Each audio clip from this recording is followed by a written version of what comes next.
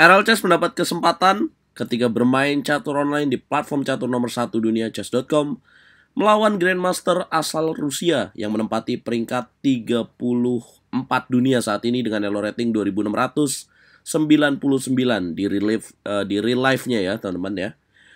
Dia adalah Sanan Sugirov. Teman-teman, Sanan Sugirov pernah menjadi juara dunia di kelompok uh, usia muda dan pernah menjadi juara Eropa dan tahun 2010 dia pernah mengalahkan Magnus Carlsen di ajang Olimpiade Catur di Rusia di Kanti Mansis saat dia tergabung di tim Rusia 4. Teman-teman, bagaimana RL Chess melawan Sanan Sugirov? Langsung saja kita bahas permainannya. Sanan Sugirov memulai dengan langkah E4 dijawab pembukaan Prancis, per pertahanan Prancis oleh RL Chess. Favoritnya RL Chess, kemudian putih D4, hitam D5, dan putih kuda C3. Dan seperti biasa, variasi Winawer ditampilkan, putih E5, hitam C5, putih gajah D2. Ya, Bogol Jubov Variation dalam pilihannya Sanan Sugirov dengan gajah D2. Eralchas menjawab dengan kuda E7. Nah, ini mungkin perlu dibahas. Kenapa Eralchas tidak mengambil pion D4? Karena secara teoritis ini tidak menguntungkan bagi pemain hitam. Putih akan masuk dengan kuda B5 Apabila pertukaran gajah dilakukan, maka kuda petak B5 menempati petak D6. Atau ketika RL Chess memilih mundur dengan gajah C5, maka putih akan lanjutkan serangan dengan menteri G4. Maka ini tidak menguntungkan juga. RL Chess lebih memilih kuda E7. Kemudian, putih melanjutkan dengan kuda F3 Hitam lanjutkan dengan kuda B ke petak Sena menekan pion D4. Putih A3, hitam gajah memukul kuda, pertukaran dilakukan. Putih memukul balik dengan gajah, dan hitam memukul pion D4. Sanan Sugirov memukul dengan gajah, Errol Chess kuda memukul gajah. Ya, siapa yang mau ya melawan sepasang gajah dalam permainan terbuka seperti ini. Kemudian Menteri memukul kuda, Errol Chess lanjutkan dengan kuda Sena mengancam Menteri. Sanan Sugirov Menteri G4 mengincar pion G7, langsung taktis G6, putih gajah D3, hitam Menteri E7. Kenapa RL Chess tidak memilih langkah rokade pendek? Karena saya melihat uh, akan digempur oleh Sanan Sugirov dengan setup gajah D3, kemudian H4 apabila melakukan rokade pendek. Gajah D3, hitam menteri E7, putih lakukan rokade, hitam gajah D7, putih benteng F ke petak E1, dan hitam lakukan rokade panjat.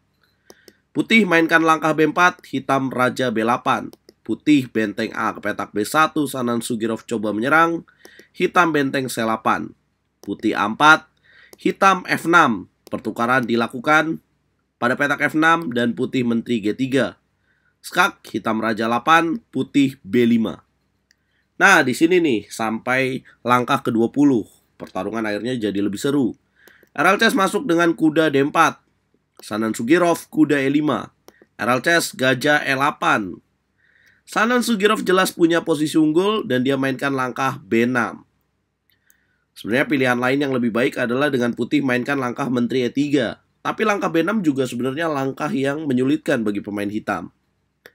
Karena ini sisa waktunya di bawah 2 menit, B6 tujuannya kalau nggak hitam hati-hati, apabila hitam mainkan langkah A6, kira-kira apa jawaban putih teman-teman?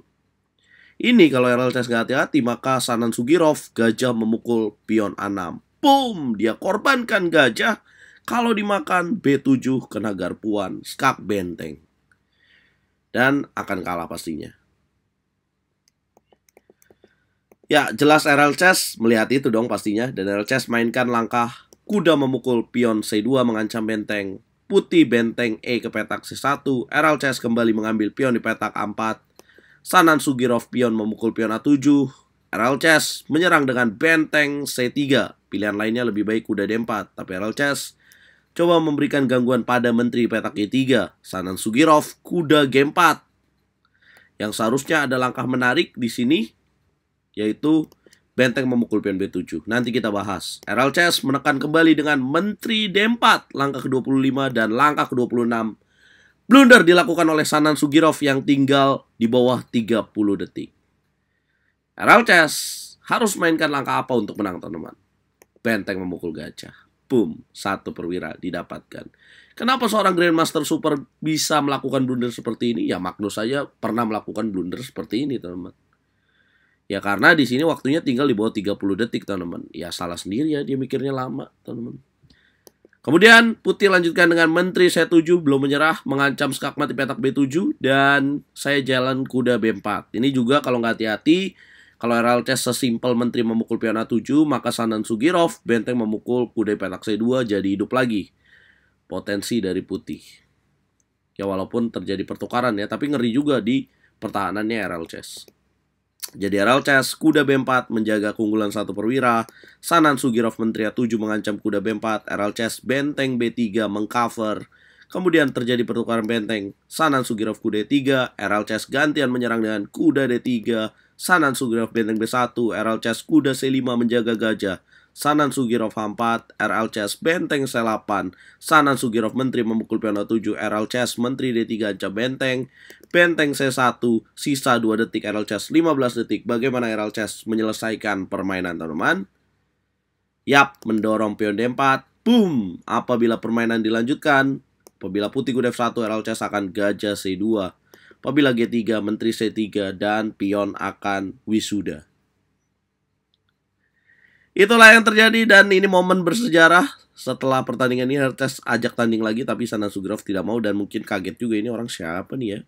Gelarnya Video Master tapi bisa ngalahin Sanan Sugirov.